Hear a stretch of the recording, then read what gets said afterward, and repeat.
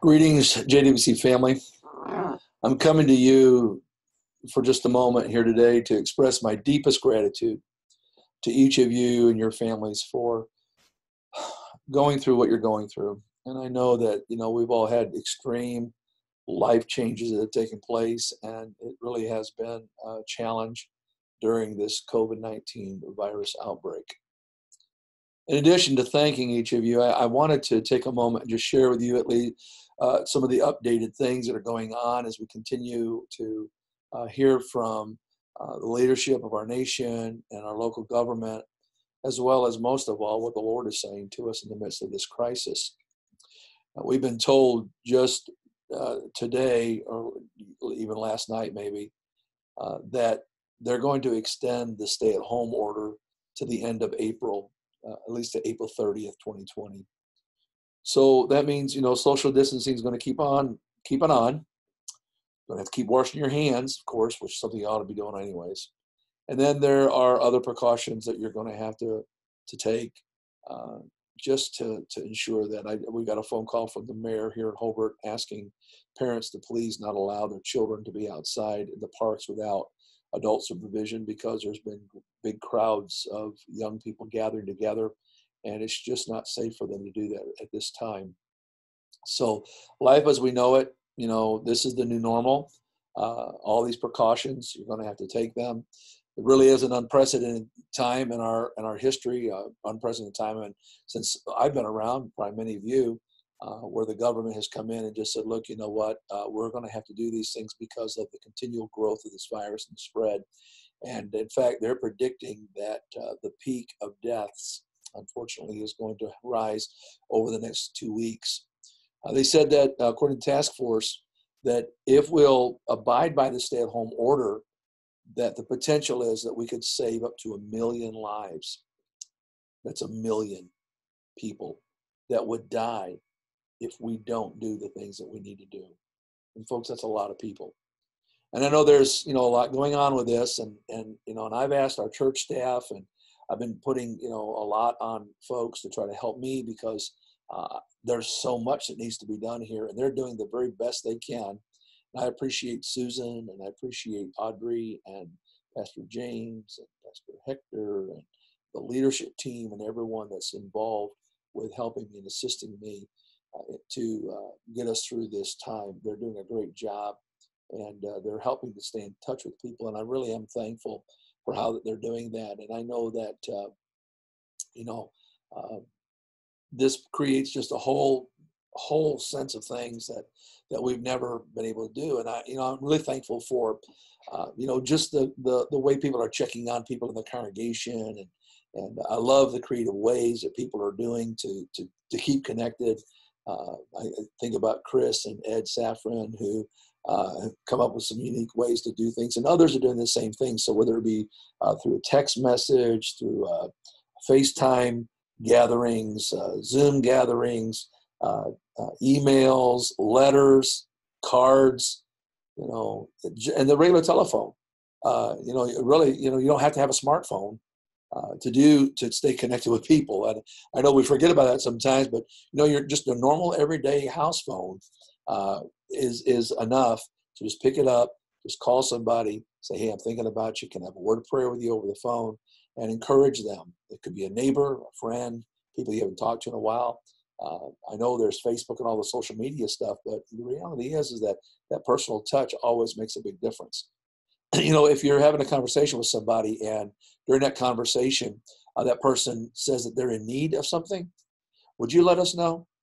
Uh, would you just call the church 219 947 0301 and extension 100 219 947 0301 extension 100 call the church and pass that on to us because we can pass it on to those who are willing to help uh, and to, to do things that are necessary to help people now with all the things that are going on i wanted to let you know uh, about some of the good things that are taking place as well. As you know, uh, the uh, government uh, just passed a stimulus package of two trillion dollars. Um, that's unprecedented for to help in in this crisis. Uh, I'm thankful for that uh, because that is going to be something that is going to be helpful to a lot of people, small businesses, uh, churches, uh, you know, and, and, different ones that are out there that are just going through a real financial struggle right now because of loss of jobs. People are out of work. People got laid off. Different things are happening. Uh, so this is this is going to be huge to help. One of the other things that uh, this CARE Act also does, it's going to increase the limit on an individual taxpayer's deductions for contributions to public charities like Jubilee Worship Center. Now, in the past, uh, what they've done is they said that, you know, according to your adjusted gross income, you can only claim 60% of your charitable contributions. That's been changed. For 2020, if you itemize, you will be able to claim 100% of your charitable contribution. Now that's huge, especially for those of you that have been contemplating giving uh, to to the church or something like that. Because now, if you're one of those fortunate ones uh, that uh, get to itemize, you'll be able to claim hundred percent of your charitable contributions. That to me is just phenomenal because that's going to really encourage people to help to, to give. And that, that's the hope is that people will be encouraged to give. Not only that, if you don't itemize, if you just do your standard deductions and that's all you get, because they did raise the standard deductions, most people, in fact, I think something like 98% of the American population this year in 2019 uh, went to basically just a normal, the, they couldn't even reach the standard deduction because it went up to about $24,000. But here's what they're doing the government's saying now that you're going to be able to deduct $300 of the cash contributions, regardless of whether or not you met the standard deduction. So that's huge. Uh, that means that $300 you're going to get as a tax benefit because you're giving it to uh, a local charity like Jubilee Worship Center. Now, I don't want you to get the wrong idea here. I'm, I'm just sharing this with you because I know how much you love the church. And I know that uh, despite your current situation, you're doing everything you can to support the kingdom's work. And I want to thank you for that. And all of you that are, that are listening in right now, please understand something. God knows how to take care of us, but the interesting is how God does it, is He always works through people. I don't always understand how this happens, and I don't know why this particular situation is happening right now. Uh, when things were going so well, all of a sudden things turned around. But here's what I do know nothing like this took God by surprise. So, if that be the case, then we have to realize that, you know what? God is able. And I want to thank you. I want to thank you from the from the depth of my heart because you have been out there. Uh, you're going online. You're giving online. You're uh, you know you're you're you're texting in. You're you're using the Tithe.ly. You're uh, uh some of you even stopping by the church and just dropping it off at the church. And uh, you know I really appreciate that. And I love I love the fact that people now are going back to something we've always had around, and that is again snail mail. And I say snail mail only because of the fact it does move slower. But you know what? Who cares? That's a great way. You just can mail it to 415 North Hobart Road, Hobart, Indiana 46342, Jubilee Worship Center. Uh, you know, and, and you can do it now. You know, uh, and and I want to again just thank you, thank you because you're so willing to give out of your necessity. And I, am reminded of, of the Apostle Paul in, in 1 Corinthians. We talked about how that churches in the early church gave out of their necessity, their, their necessity to the need that other people had.